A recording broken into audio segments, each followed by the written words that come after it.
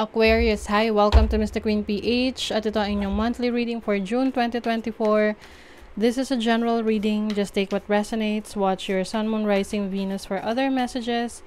And thank you sa lahat ng mga sumusuporta dito sa ating channel. Just a reminder, gamitin nyo lamang ang reading na to bilang gabay. Pa-follow, like na rin ang ating Facebook at TikTok. Lahat po yan, Mr. Queen PH. Like, share, subscribe. Turn on post notifications para lagi kayong updated sa ating mga readings. And if you're interested in private readings, meron tayong third anniversary promo, 25% discount sa tarot reading services, extended hanggang May 31, 2024. Ayan, so meron tayong link sa description at sa pinned comment. Paki-check nyo na lang. Okay, Aquarius, let's see what's up with you ngayong June 2024. June 2024 for Aquarius.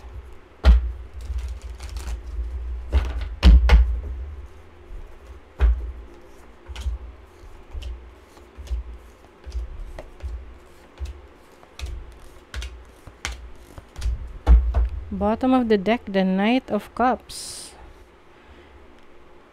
Love offer. Love talaga, no? Oo. Uh, may proposal. Pwedeng merong may magpo-propose sa inyo, romantically, no? Or pwede rin naman tong business proposal for some of you.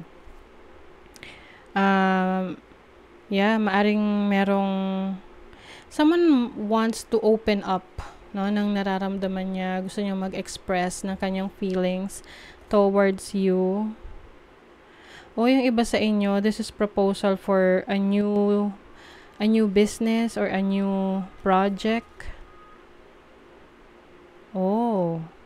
Yung iba pwedeng merong merong kayong opportunity bagong uh, bagong trabaho or alam mo yung bagong role. Ayan, bagong role sa business, sa trabaho, sa career ninyo. Okay? Let's see your overall energy. You have the Knight of Pentacles. This is investment or prosperity. So you are feeling good about your productivity, no? So I think mas magiging productive ka ngayong ngayong June. Uh, this will bring a lot of abundance, no, sa buhay mo, especially sa career uh, ito yung hindi mo siya, hindi mo siya actually minamadali. Parang you are, you're going with the flow. No? Pagdating sa career mo, you're doing whatever, kung ano man yung nakapagpasaya sa'yo ngayon. Um, and even if you are in a relationship, mas ano ka rin eh, uh, gusto mong maging, uh, maging steady yung relationship ninyo, maging matatag. You are focusing on building a strong foundation sa relationship.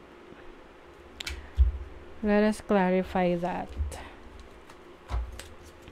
Yung iba, maaring papasok kayo sa isang uh, investment. What is the Knight of Pentacles?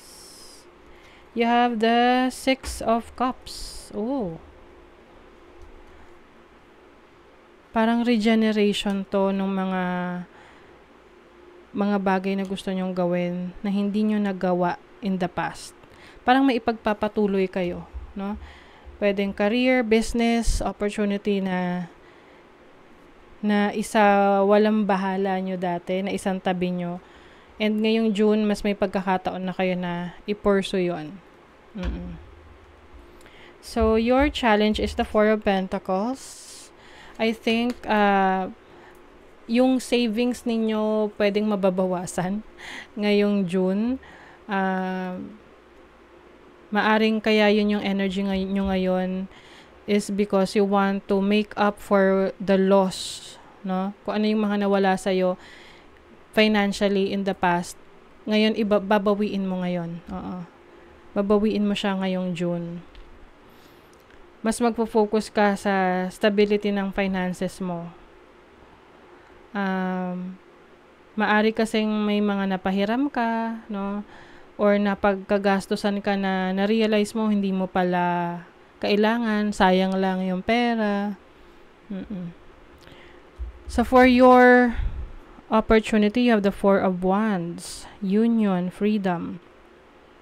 Stability. More on stability ang focus nyo ngayon, Aquarius. Stability ng relationship, ng business mo, ng career mo. Gusto mo magkaroon ng structure, no? Uh, yung mga ginagawa mo. Hindi yung kung basta na lang, no? You are, you want to manage your career, your business, your relationship well. And ngayon, may opportunity ka rin na to work with people na malapit sa'yo. Like, yung mahal mo sa buhay, romantic partner. Some of you, you also have the opportunity to have your own uh, property. Sarili mong lupa, sarili mong bahay. Mm-mm. And meron ka rin i-discover na iba mo pang talento, no? Ngayong June na hindi mo akalain na yun pala ay magbibigay sa'yo ng success. Mm-mm. So, your blessing is the page of wands. May good news na parating. Merong communication of good news. Maaring galing sa medyo malayong lugar to, pwedeng sa, sa abroad, or meron kang katransaksyon sa ibang bansa that is going to bring you good news. So, yung iba, if you are planning to work abroad, to go abroad, um, merong magandang balita dyan sa pinaprocess mong mga papers. What is the page of wands? Ah, seven of pentacles. Ito yung hinihintay mo, parating na. Mm-mm. So, hindi, wag ka nang mag-alala kasi yung sagot sa hinihintay mo, darating na ngayong June. Maaring meron kang hinihintay na uuwi from abroad or may hinihintay ka na reply from uh, the company na ina-applyan mo abroad. Kahit hindi abroad, basta this is something na matagal mo nang hinihintay, opportunity related sa money, sa career mo, or sa finances. You have the Hierophant, the Justice card, and the Knight of Swords. Yes, bringing balance into your finances. Mas maingat ka ngayon sa pag-handle ng iyong kaperahan, sa pag-handle ng uh, cash flow mo. I think meron kang mga natututunan galing sa ibang tao na uh, nagsishare ng kaalaman nila kung paano i-handle yung kaperahan nila. Yung mga financial gurus or even yourself mismo, no? Ikaw yung nakaka-realize niyan. Kasi ikaw ay mas nagre-research, mas inaalam mo kung ano yung dapat mong uh, gawin. Medyo mag-ingat lang, no? Kasi meron ditong conflict. Pwedeng meron kang makaaway related sa pera or maka, magka-issue ka with uh, uh, isang katrabaho. Oo. Ito yung tipong, maring meron kang katrabaho na mahilig pumapel. Tapos minsan parang hindi mo na kaya na pakisamahan.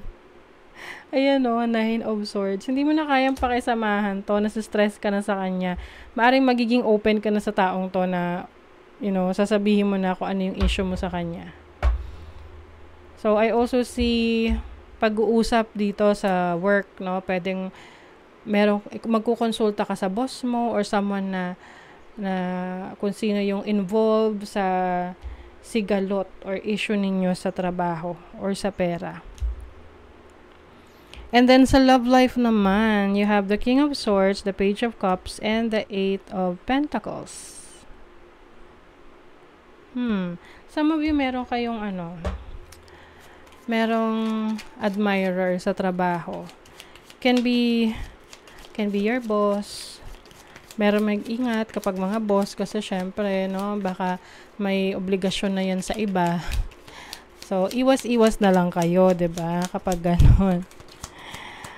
Mm-mm. Pero kung crush-crush lang naman, okay lang. Nothing serious.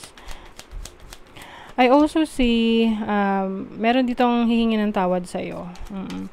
Someone na medyo naging, uh, naging mahirap pakisamahan. Can be your partner, romantic partner, someone that is masyadong controlling sa'yo. Oh, you have the death card. Oh. Can be a Scorpio. Mm-mm. Or you are dealing with kapareho mong uh, air sign, Gemini, Libra, Aquarius. what is this? What is the death card? You have the Son of Wands. Oh, it seems na merong magbabago ng pakikitungo sa'yo. Kung medyo cold itong person na to, I feel like meron siyang marirealize about yung totoo niyang feelings towards you. Tapos, ipupursu ka niya. Mm-mm. Ito yung tipong, um, ano, yung parang ano siya, uh, suplado, suplada, ganyan. Pero, I think na-realize niya yung totoong feelings niya towards you. So, maaring mag-iiba yung pakikitungo ng taong to sa'yo. Mm-hmm. Let's see what else. You have the elephant. This is about being majestic, regal. So, I think you will also take care of yourself. May babaguhin ka sa pananamit mo, sa styling mo, mas gusto mong maging confident ngayon. You also have the lion. Justice. Alam niyo, dalawang beses lumabas yung energy ng justice dito. So, this is about karma. Okay? So, if merong taong um, merong taong nag-take advantage sa'yo na deliberately, no, sinadya talaga, that person will receive karma agad-agad. And also, if y- this is also can be applied sa iyo, no? Um, you will you will get the justice that you deserve. Ayan. You also have desert. Desert is about being more resilient, no, adaptable, flexible. So any changes na kakaharapin mo, kayang-kaya mong i-handle, no, ngayong June. So that is your reading Aquarius. Thank you so much. Bye.